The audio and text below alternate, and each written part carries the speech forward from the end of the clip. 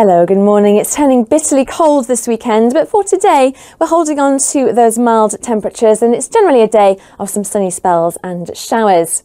Quite a mild start for most of us this morning, we should see some spells of sunshine, but in between some showers. Some of those could be on the heavy side and possibly thundery in nature as well. But temperatures not doing too badly with a high of 14 degrees Celsius and a light to moderate southeasterly breeze.